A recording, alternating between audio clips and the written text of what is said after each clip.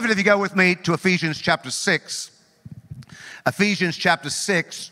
Uh, we're doing our third and final part of this series, Battle Ready. The reality is, on this subject, we could talk for weeks and we'll probably revisit it uh, at, at, some point here. Uh, but we're doing a three part series right now, Battle Ready. Verse 10 of Ephesians chapter 6. Finally, be strong in the Lord and in the strength of his might. Put on the whole armor of God that you may be able to stand against the schemes of the devil. For we do not wrestle against flesh and blood, but against the rulers, against the authorities, against the cosmic powers over this present darkness, and against the spiritual forces of evil in the heavenly places. Therefore, take up the whole armor of God that you may be able to withstand in the evil day. And having done all to stand, stand firm. Stand therefore, having fastened on the belt of truth and having put on the breastplate of righteousness and having and your, as shoes for your feet, having put on the readiness given by the gospel of peace. In all circumstances, take up the shield of faith with which you can extinguish all the flaming darts of the evil one and take the helmet of salvation and the sword of the Spirit, which is the Word of God. Let's pray. Father, we thank you for your word today, and we invite you, Holy Spirit, to come in a fresh new way.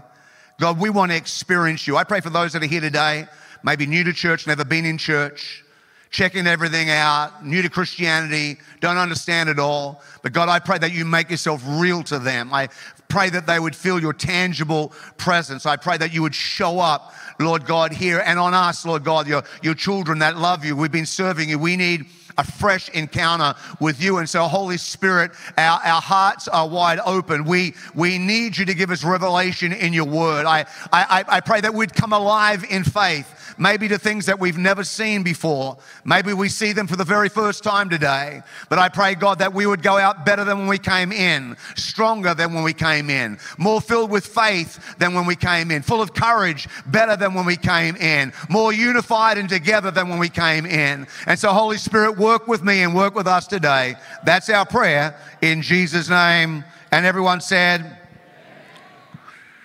so Paul uses this word finally finally. And he is about to sum up the six chapters of Ephesians pretty much in three words. Everything God has planned, everything God has purposed, everything that God has predestined, everything that God has promised is gonna come to you, but it coming to you is summed up in these three words. Finally, uh, he's going to do an overview of the book of Ephesians. Finally, chapter uh, 2 tells us, even when we were dead in our trespasses and made us alive together with Christ, by grace we've been saved, raised up with him, and seated us with him in the heavenly places in Christ Jesus. And so the first word is the word sit. This is incredibly important for us to understand because our salvation, our Christianity, our authority, everything that we have comes to us through a position of rest. You don't have to earn God's love, God loves you. You don't have to earn God's grace, God's grace comes towards you. In fact, you can't earn God's grace, it is unmerited favor, undeserved favor, unearned favor.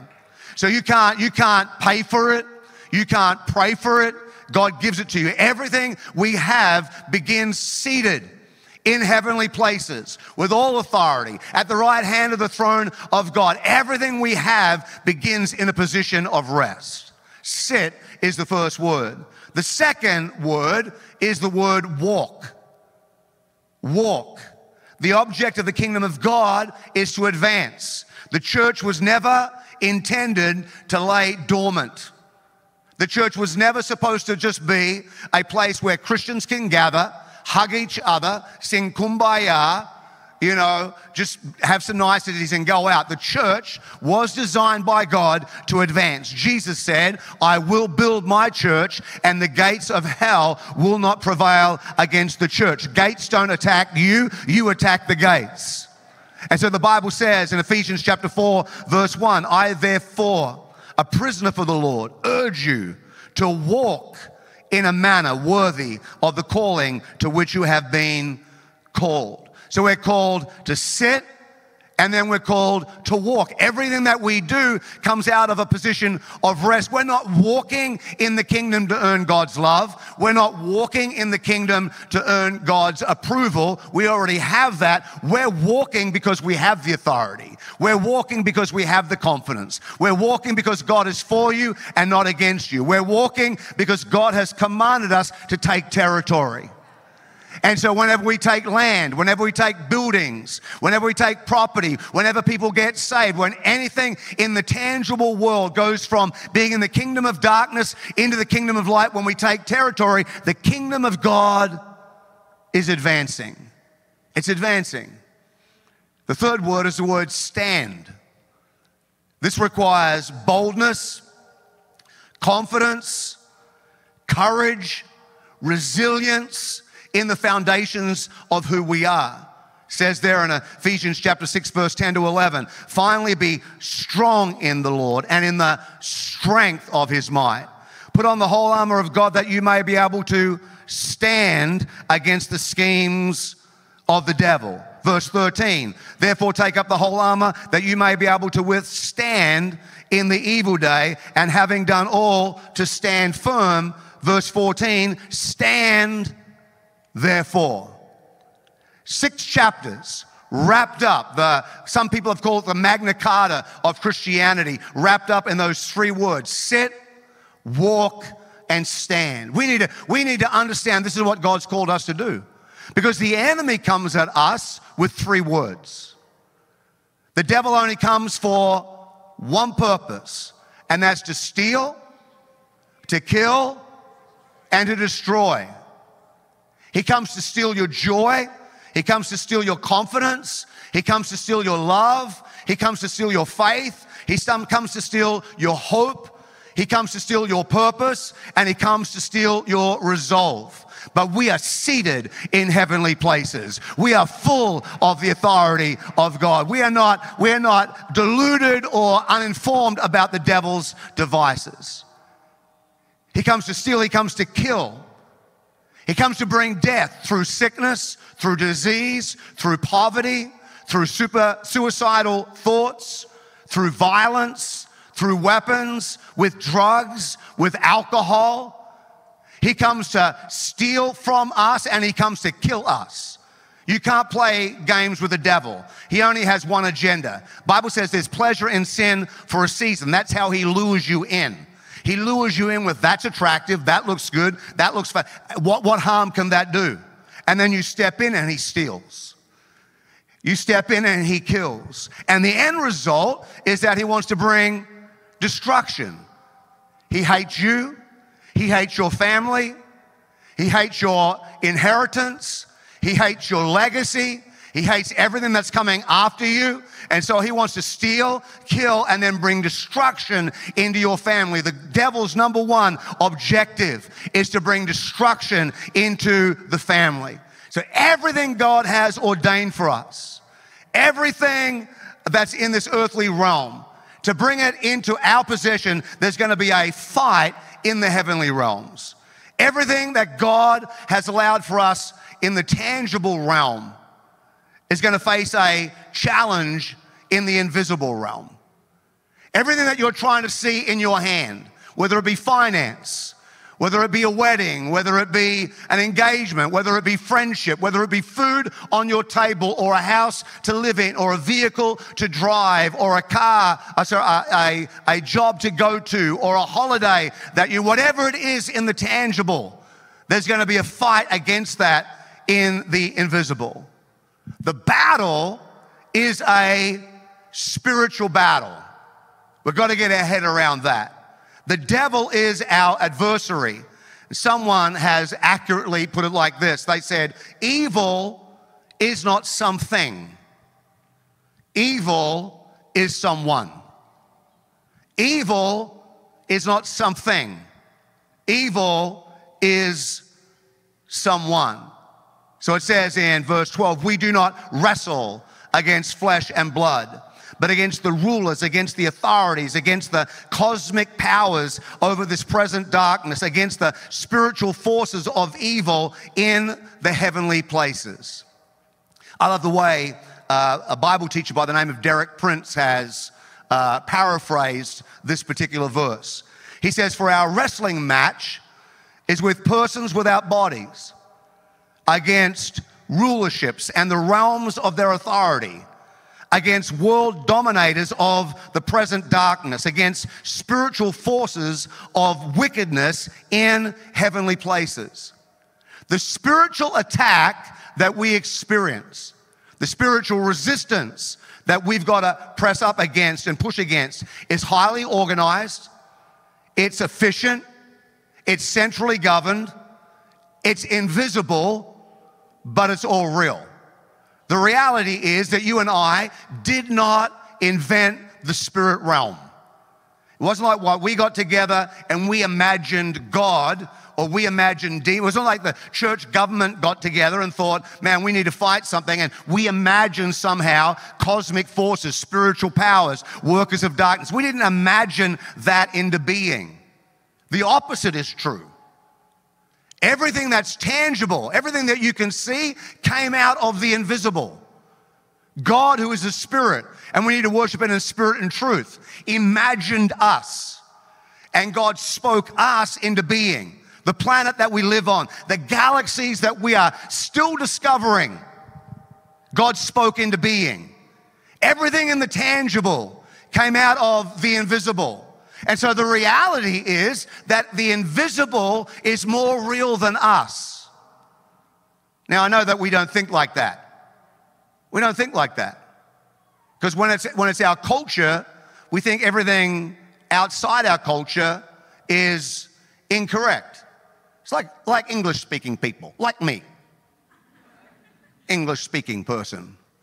We think anybody that didn't grow up with English as a first language and grew up, whether that be Spanish or French or uh, Ghana, whatever it may, wherever it is, and then they try to speak English back to us with an accent or broken English that we think somehow they're not as smart as us.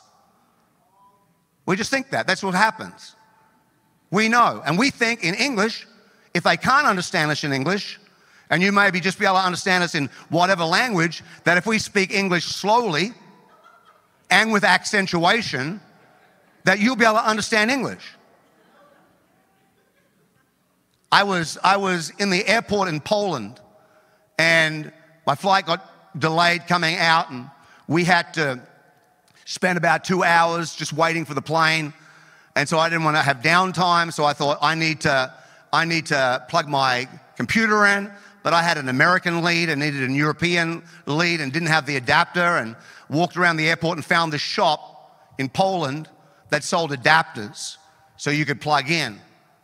Person from Poland, strangely enough, did not speak English. Not a lick of English. Nada, zilch, nothing, no English. I didn't speak any Polish, but I want to buy an adapter. So I did what every English speaking person does when they're trying to communicate to people in a foreign language. I spoke loudly slowly, and with accentuation. I, like, I said to the person, I wanted to buy money, cash, purchase, buy an adapter. American plug, European plug, adapter, power into my computer. Can I have an adapter for my computer? And the person looked back to me and went, Yeah, yeah. And I'm thinking, I'm a genius. I'm an international correspondent. She came back with a dishcloth. She came back with a Polish dishcloth. But it's a little bit like that in, in, in the natural world. We, we can tend to look at the spiritual world like it's not really there. because we're looking out of it from the tangible world. But the spirit realm is more real than what we are. So you can pray a prayer and there can be spiritual opposition. The book of Daniel, chapter 10, we see a little bit about that. How Daniel prayed a prayer, and God said, I heard your prayer. I heard your prayer a few weeks ago. But when the prayer was being released, there was a battle in the heavenly realms. Michael the archangel had to get called in. We had to call in archangels. There was a fight. There was a battle. Getting the answer to your prayer to you. I heard it. I responded. But there was a fight of resistance trying to stop you from getting what God had destined for you. And our problem is we pray, we believe, we release it in faith, it gets caught in the battle and we don't fight and it doesn't happen. And so we come up with an excuse, well, God didn't want me to have that. Or maybe God wanted me to suffer. Or maybe God, and we, we put it on God when it was on our responsibility because we're told, put on the armor of God and fight back. There's a fight against you. Like if you're out there today and there's an ice cream on the table, and it's the last one there, and you're going to go for it. And then Paul Lawrence sees the ice cream. He's just bailing to go. He launches in the air to get the ice cream. You're going to fight back. You're going to push back. it's like it's not going to happen. Jesus spoke about the spiritual battle. They accused him of being demonic. And he's like, a kingdom can't stand against itself and be divided. He's like, there's a devil. There, there, are, there are demons. There are principalities. There are powers, and I'm not on their side. I'm against them. So there is a spiritual fight that's happening. Now, this must be an awakening for Paul because he has been arrested by flesh, he's been persecuted by flesh, he has been jailed by flesh, he has been guarded by flesh. He's been persecuted and attacked by flesh and blood. But he is saying, despite all that, this is not about flesh and blood. The battle is spiritual. And he wants us to identify it's a spiritual battle and engage us in spiritual warfare. So he's like, I'm summing up the book of Ephesians. I know what's coming to you and what's going to resist you getting it. And so I need you to be equipped spiritually. And so Paul's looking around. How can I convey this to you? What sort of a sermon illustration? And I, I, love the fact that he uses the armor of God. That he's in captivity, he's with Roman soldiers, he's checking them out, looking what they're doing, and he, he creates a sermon illustration out of the armor of God. Now, it does have foundation in the Old Testament, but he's using a sermon illustration based on what he can see. It's like the, the very, very first, you know, seeker friendly message. Uh, and so he sees a Roman soldier and he breaks down, because that's how preachers operate. We don't have circumstances, we have illustrations. Nothing ever happens to me, things only ever happen for me. So when something happens around me, I'm not like, oh, it's a circumstance, it's a problem. No, I'm like, okay, what sermon illustration can I pull from this? I live my life like that. I don't have, if I get bad customer service, it's not bad customer service, it's a sermon illustration. It's gonna come out somewhere. I remember, I think it was United Airlines or something some years back, and I was getting just terrible customer service from the girl at the desk. Just terrible, awful. So bad she could have worked for Delta. And so just terrible, ter- terrible customer service. And so I, I looked at her and, and I said to her, Do you see how many miles I fly? She says, Yes, Mr. Morgan, I can, I can see that you fly a lot of miles. You know why I fly? No, Mr. Morgan, I have no idea why you fly. I fly because people pay me to go there and speak. I talk for a living. And I'm always looking for illustrations. And you right now with this bad customer service will one day become a sermon illustration. And if you keep giving me super bad customer service, you're going to move from a sermon illustration into a whole series of messages. So Paul's looking at the Roman guards and he's drawing his illustration from the armor of the Roman soldier. As one Bible scholar commented, he said, behind the human aspects of opposition and seduction, the writer detects the presence of superhuman forces arrayed against the church. The assaults of demonic powers require heavenly aid to repel. And it is the epistle's conviction in true Pauline fashion that God has placed at the Christian's disposal all that is needed to resist such an attack. In particular, the various pieces of armor are listed. So he says, Paul sums it up. He realizes that we're coming under attack. He uses this illustration and he looks at the Roman soldier. And I say that because some people try to make a doctrine out of the helmet has to always be this and the sword always has to be that. But if you go through the Bible, you'll find out that the helmet means things and the breastplate means things in different areas. It's an illustration to demonstrate a spiritual point, but a very effective illustration says, I want you to take up the armor of God. We don't wrestle against flesh and blood. There is a fight. And so, church, I need you to be battle ready. That's what Paul's saying. If you're not battle ready, you're going to get beaten up. You're going to get beaten up. How many people enjoyed the praise and worship this morning while I think about it? It was like, that's like a testosterone overload. Hey, Lynn, you were like a rose amongst thorns up here today. I was like, all these guys up here, we've got enough testosterone to start a small jet. So to get battle ready, here's the first thing. To be battle ready, you need to be filled with confidence. I talked about that last week. Confidence is not like confidence. Confidence can be in you. Confidence is my confidence is in God. I, I, have my confidence and my faith in God. To be battle ready, you need to be filled with confidence. To be battle ready, you need to be have intel. You need to know who, where, why. You need to understand it is a spiritual battle that we're in. To be battle ready, you need to be prepared to take your stand. It says, therefore, take up the whole armor of God, that you may be able to withstand in the evil day. And having done all to stand, stand firm, stand. So he says, You're going to take up the whole armor of God. You've got to put it on. But I want you to put it on, I want you to take your stand. I want you to stand in boldness and I want you to stand in authority. There was a book written in the 70s uh, called Dress for Success. And the whole concept behind that is that you would put on clothes. And when people see the clothes, they're going to respond uh, in a certain way. You may have heard the, the phrase, clothes makes the man. It, it, and it has a dual meaning. One, when people see your clothes and how you dress, they make an assumption. Bible put it like this man looks at the outward appearance. So that's how that operates.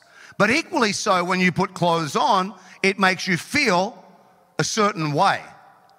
So if I'm wearing board shorts and a tank top and flip flops, I'm probably not planning to go into a business meeting. But if I put on a suit, tie, shoes, probably not thinking about going down to the beach. Because same me, different clothes means it positions me in a different way. And so the whole book on uh, dress for success was if you want to have power, you wear the red tie. You know, the power tie? So wear the power red tie, blue suit, navy blue suit, power tie, power handshake. They even teach on giving the power handshake. Anybody that shakes your hand where they tip it over like this and their hands on top, they've read the book. If it ever happens to you, just tilt their hand up and go, ah, nah. Not gonna work. So you see presidents doing that in the debates.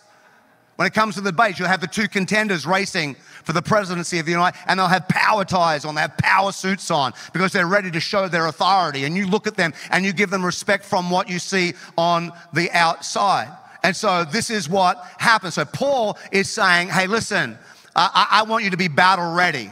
I want you to put on the whole armor of God. I, I, I, want you, you know, they used to say like a, a big wig is only a small wig away from home with a briefcase. The briefcase makes you feel better. And so Paul says if you want to stand in authority, you've got to put on the armor of God. Once you've strengthened yourself in the Lord, once you have position yourself with a seated in heavenly places, walking out, standing firm, then you need to put on the whole armor of God. You need to dress for success. And when you dress for success, when you dress in the armor of God, you can stand in the evil day. So, what's the evil day? The Evil day is any day that the enemy releases evil against you. So, he may not release evil against you, maybe it's against your siblings, or your spouse, or your friends, or your business, or your community. The evil day is anytime the evil forces, the invisible evil forces, are engaged in an attack. And so, Paul's saying, as a Christian, don't be subject to the attack. You have the authority. You have the power. You've been given all things pertaining to life and godliness.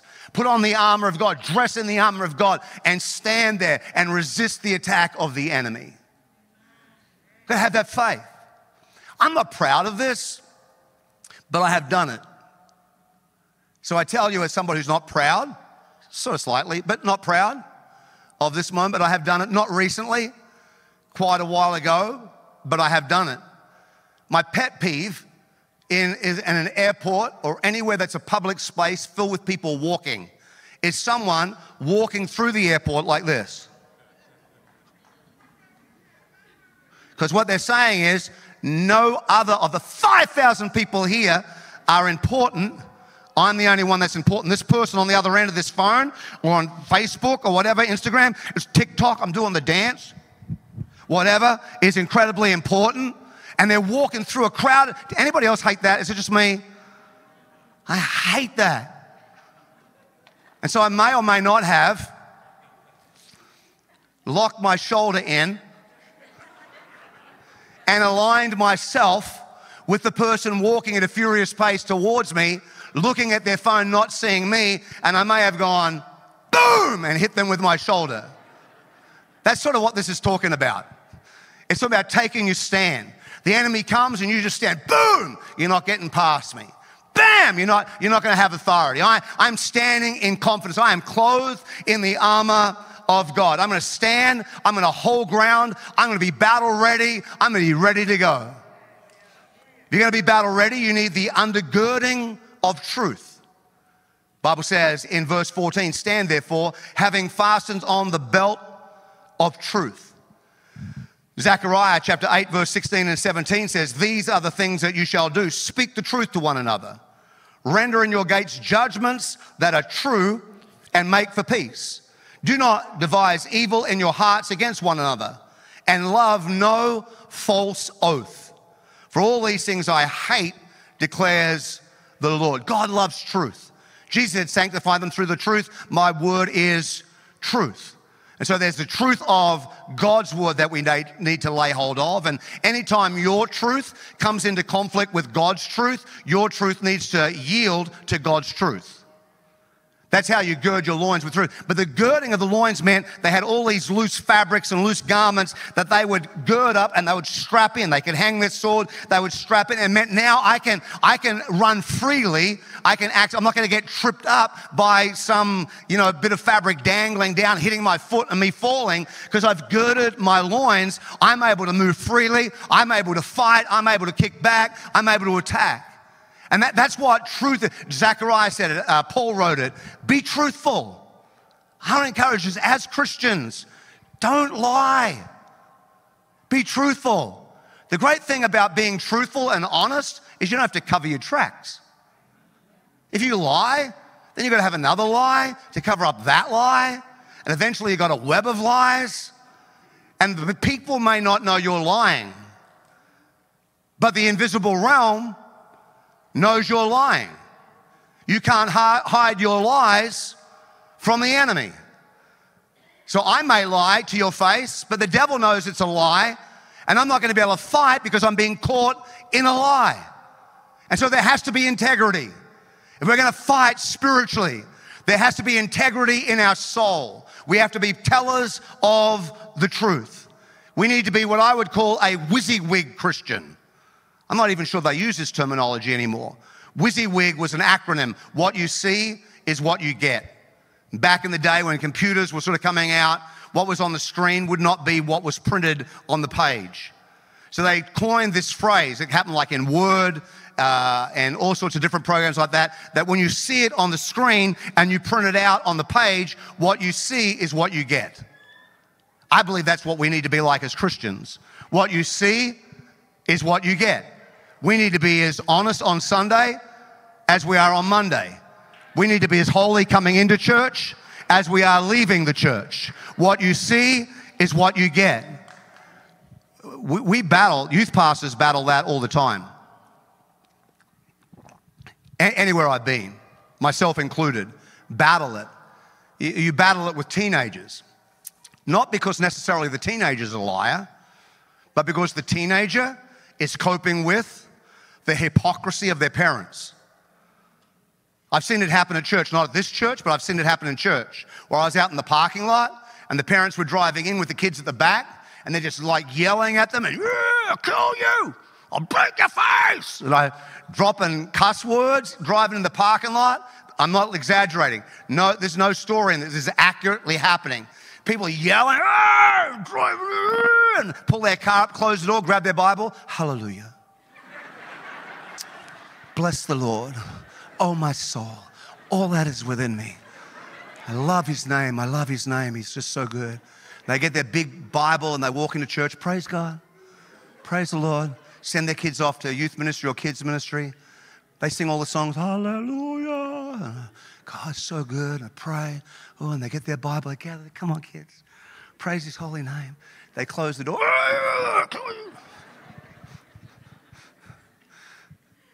We should be consistent. I hope, my prayer is what you see on the stage on Sunday is what happens on Monday. That we, we all should be honest and integrous with who we are. Do you, but choose true. That's what I always say. To be battle ready, you need the boldness of righteousness. Having put on the breastplate of righteousness. You strap on the breastplate of righteousness. The book of Proverbs says, the wicked flee when no one is pursuing them, but the righteous are as bold as a lion. We are the righteousness of God in Christ. If you're saved, the blood of Jesus is on your life. You stand pure and holy before God. You are not an ex anything. You are a new creation. All the old has passed away. You get a clean slate. You get a do over. You get a fresh beginning. You get the blood of Jesus on your life, and you can walk in to the throne room of God boldly and you can cry out, Abba Father, Daddy God. That's, that's the privilege that we have. We didn't earn it, we didn't deserve it. It came to us when we were seated in heavenly places, but it is ours. The breastplate of righteousness means that we can stand in all authority, we can stand in all power. You're not just standing in your own righteousness, we're standing in the rightness of God. And so the devil will try to steal your thoughts and tell you you're no good. Devil try to steal your thoughts and tell you you're ugly, you're hopeless, you'll never make it. And you need to be able to stand in the righteousness of God. To be battle ready, you need the truth of the gospel. Anna already has spoken about that uh, earlier today in her prayer. As shoes for your feet, having put on the readiness given by the gospel of peace. Now, the shoes of the Roman soldier weren't slippers, they weren't dancing shoes, they weren't flip flops, they were, they were made for war. And historians tell us that the Romans won a lot of their battles because of their shoes. Some say that at the bottom of their shoes they had cleats that would help them get firm in the ground so they couldn't be easily knocked over. Paul says, looks at the feet and goes, This is what we need to be. The Bible says in the book of Isaiah, How beautiful upon the mountains are the feet of him who brings good news and publishes peace, who brings good news of happiness, who publishes salvation, who says to Zion, Your God reigns. How beautiful upon the mountains are the feet that declare the goodness of God How beautiful when someone steps in to the situation and they're declaring the goodness of God. How great it is when you stand in prayer and somebody stands up here today and prays and declares the gospel, which is good news of God. The Spirit of the Lord is upon me. Why? Because He's anointed me to preach the gospel. Who to? To the brokenhearted. Those who've had the heart smashed into thousands of pieces. God said, I've come to put your heart back together with no join marks, everything looking whole. He's come to preach the gospel to the poor. What is gospel to the poor? Is you do not have to live under the curse of poverty. He who was rich became poor, so you who are poor can become rich. A job is supposed to be in your agenda. Promotion is supposed to be in your agenda. Your business is supposed to break through. These are promises of God. Good news to the poor is you don't have to be poor. It's never good news to a poor person that you're more poor than they're poor. Because they're looking at you to try to help them. And you can't help them out of your poverty. Good news to the poor, healing, healing to the blind. I love what Helen Keller said. Uh, she was asked, Can you think of anything worse than being blind? And she said, Yeah, to be able to see but not have vision. The word when it talks about being blind is like opaque, like seeing through a glass dimly. I see men like trees walking. I don't see things clearly. I, am struggling. So I've, I've come to remove the fog. I've come to give you accuracy. Oh, he talks about all those things that are, that are the power of the gospel. And when we walk it out, we're not just walking it out in our life, but we're bringing it to other people. We are carriers of the gospel of Jesus Christ. You do not need to be ashamed of the gospel of Christ because it is the power of God to salvation to everyone who believes. Don't need to be ashamed. And there may be things that happen in church that are a little embarrassing every now and then, but you don't have to be ashamed of the gospel Jesus will never let you down. There has to be truth, there has to be confidence in the word of God. And you need to make sure that you have shoes on your feet of the gospel of peace. To be battle ready, you need the resistance of faith. In all circumstances, take up the shield of faith with which you are able to extinguish all the flaming darts of the evil one. In week one of our series, if you, if you didn't get the whole series, check it out online. Uh, Dr. Anna spoke about the shield of the Roman soldiers and how they would gather together in unison and they'd move forward as one big army. The shield has a whole heap of different connotations. Some say that the shields were made of leather and that the soldiers would soak the, uh, the shield in water or a solution. And so when the darts were fired at them, the water would extinguish the dart. But Paul's writing here and says, Listen, I want you to take that shield. I want you to stand there. And when the enemy throws anything at you, you by faith are like, No, no way. Not going to happen. Not on God's agenda. Not on God's word. You're a loser. I'm not a loser. I am a head. I am not the tail. I am above and I am not beneath. Uh, uh, well, you can't do anything. Oh, that's, yeah, yes, I can. The Bible says I can do all things through Christ who strengthens me. You got to pick up that shield and boom, I'm not taking your fiery dart. The fiery darts come to attack your mind. The battleground is in here your mind, your will, and your emotions. If you can send a dart into your thinking and get you thinking opposite to what God says about you, it's a dart. So you need to know the Word of God. You need to be able to stand there in faith. So the enemy says, You're no good. Boom, yes, I am. Get out of my face. Get out of my face. Well, you're an accident. You weren't meant to be born while you were even on the world. Boom! I am fearfully and I am wonderfully made. Get out. Before I was even born, when I was in the womb, He fashioned me. He designed me. He put things in my DNA. He put things in my, I got personality in there. I got giftings in there. Uh, there's certain things I can do, certain things I can't do. I don't want to do because I'm not called to do them. But there's certain things in me that He put there right there when I was inside, before anybody. The Bible says in the book of Isaiah, He named my name. In other words, He proclaimed my destiny when no one even knew back then what gender the baby was going to be. So when the enemy throws stuff at you, you got to pick the shield up and you got to resist back. This is not who I am. This is not where I'm heading. Word of God to fight. Some of you would have heard the story before, but some years ago I was doing a Youth Alive rally in Melbourne, Australia, and I was freaking out and intimidated. One of the first youth conferences I've ever done. They put a lot of money into this event. I'm the guest speaker, and I'm thinking, I've got nothing to say. I prepared a message, but my insecurity had overwhelmed me in my mind, the battleground. And not understanding clearly that the devil's attacking my mind because he doesn't want the altar call to happen for people to get saved. So there's a spiritual battle happening. And I'm like, I can't do this. I'm going to be horrible. I remember standing in the front row worshiping, and the girl who was singing was just awful. And I can remember thinking, oh my gosh, she's awful. And I'm going to be awful. This whole thing is going to be awful. All these people put all this energy into this event. This is an awful event. And I, I, was trying to get out. I was trying to get out of the event. I'm, I'm making trumpet sounds and the, the rapture, let's go. Come on, let's, you know. I, I just want to yell out, fire, run. Like I was trying to empty the building. Finally, they called me to go and so I'm standing. Uh, I'm standing on the back of the stage. There's a curtain sort of thing. I'm waiting to go on. And then all of a sudden, I thought to myself, hang on a moment. This is not what God said about me. I can do all things through Christ who strengthens me. He's called me to preach. He's called me to preach the gospel. And so I can do this. I can do it because why? Because Christ's strength is in me. Where do I need God to strengthen me? I need you to strengthen my faith. I need you to strengthen my courage. I need you to strengthen my communication. I need you to strengthen my altar call. I need you to strengthen my move in the spirit. I need you to strengthen my focus. I need you to strengthen my courage. I can do all things. I can do this. I can stand up uh, in front of a few thousand people and preach to God. Why? Because God has called me. I am destined to be in the kingdom for such a time as this. And what happened was I took the word of God and exchanged my insecurities with God's truth. I stood there with the shield of faith as the enemy's just like, choo, choo, with these fiery darts. I'm like, get out of my face. I'm going to go and crush your spirit. To be battle ready, you need the revelation of salvation.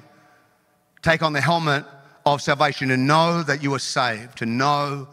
Uh, the, the word salvation is a huge word in the Greek, sozo. It means healing, it means deliverance, it means freedom. It's big. It's not, it, it, Christianity is not about some pie in the sky when you die.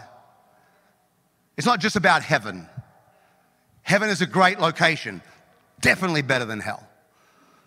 But heaven's not the only thing that Christianity is all about. We are not here selling fire insurance. If we were just here selling fire insurance, I'd be up here just with knitting, talking about customizing something for my dog so we could customize your fire insurance. But we're not doing that. We're, we're here because it changes life right here, right now. This is where the battle is. It's in the invisible. You gotta, you gotta bring it into the spirit, out of the spiritual, into reality. The fight is right now. And so when you put on salvation, the helmet of salvation, you say, I am thinking the right way. I am holy. I'm a child of God. I'm a daughter of God. I'm a man of God. I'm a son of God. I, I, I am walking in it. You gotta know who you are. Turn the person beside you and say, You are far more awesome than you give yourself credit for.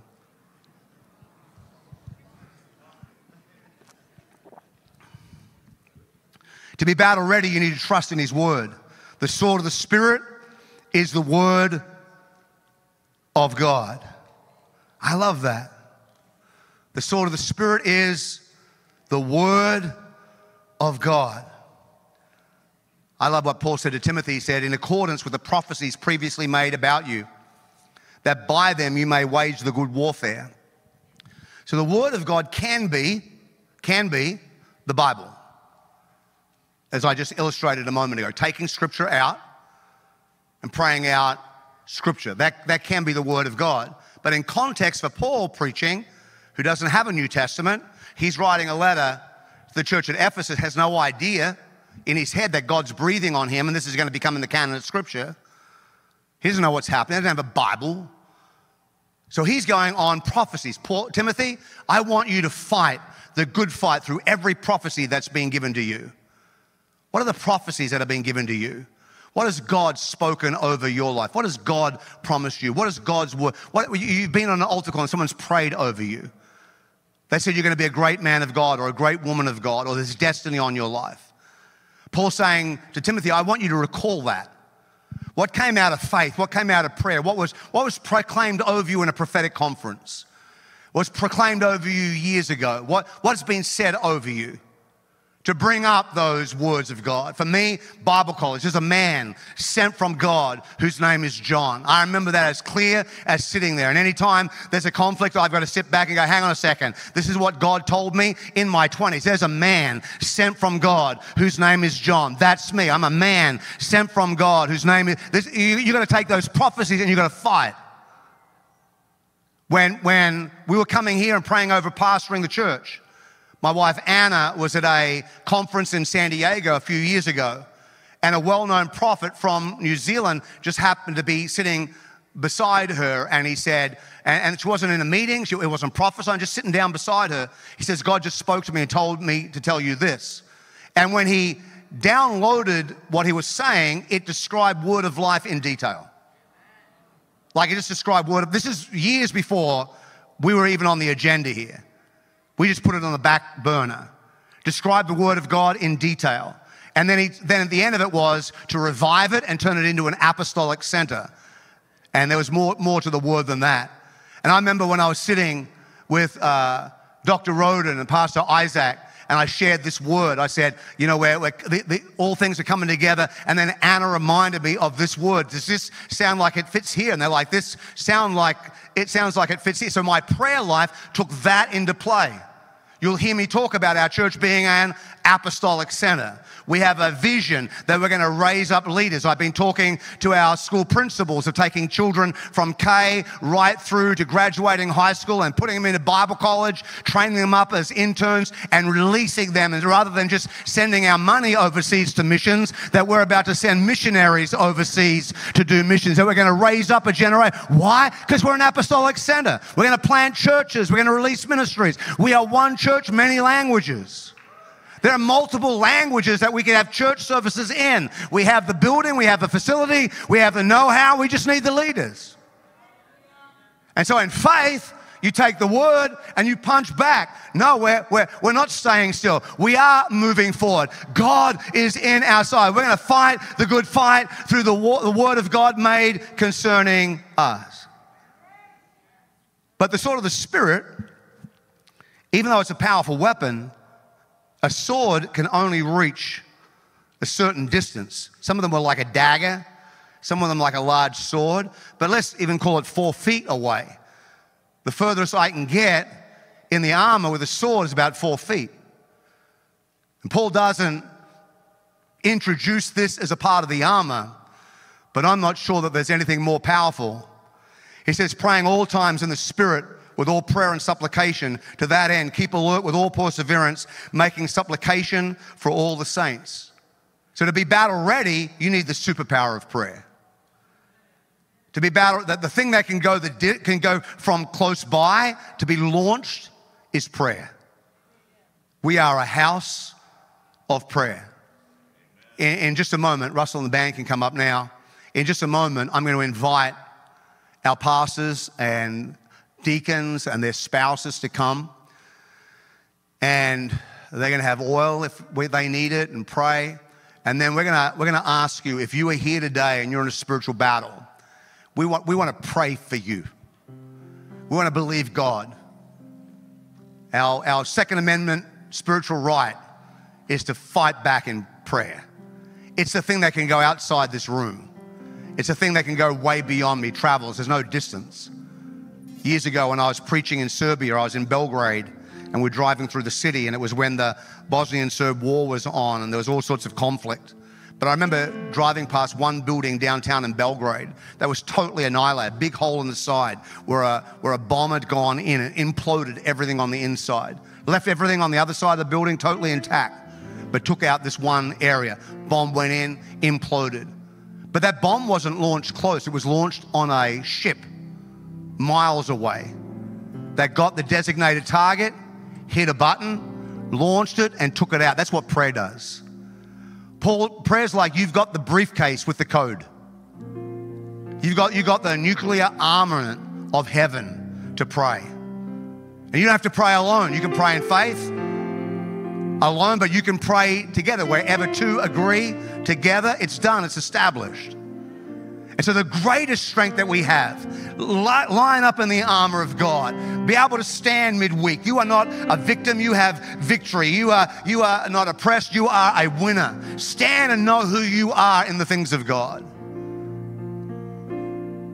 But when you take a hit, as sometimes we do, or you're feeling weak, as sometimes we do, or you're struggling, as sometimes we do, then you need to get somebody with you and say, Can you pray with me? Because that's what the church is here for.